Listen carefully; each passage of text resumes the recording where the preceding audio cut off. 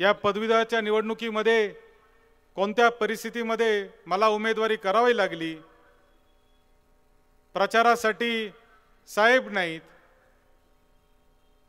पाठीमागं उभा राहायला पक्ष नाही.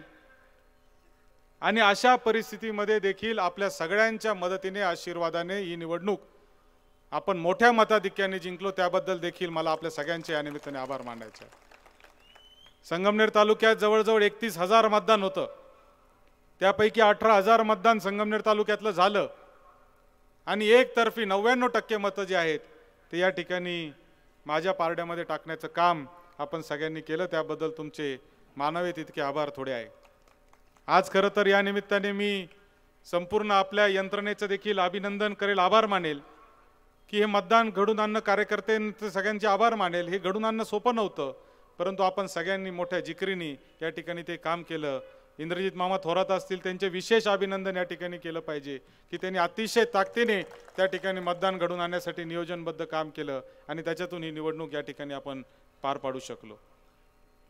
मोठं राजकारण झालं. राजकारणावर मी काय जास्त बोलणार नाही कारण आता मी काय काँग्रेस पक्षामध्ये नाही. मी आहे अपक्ष.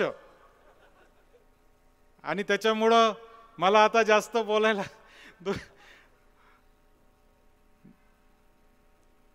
बोलायचं काही कारण नाही. आणि जे बोलायचं होतं ते सविस्तरपणे पत्रकार परिषदेमध्ये मुद्देसुद्धा आपण त्या ठिकाणी भूमिका मांडलेली आहे.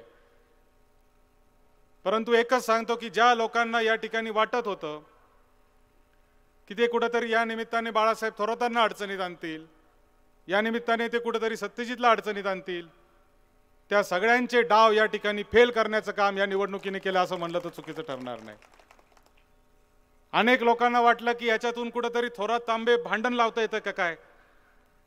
अनेक लोकांना याच्यामध्ये वेगवेगळे अँगल देण्याचं काम या लोकांनी केलं.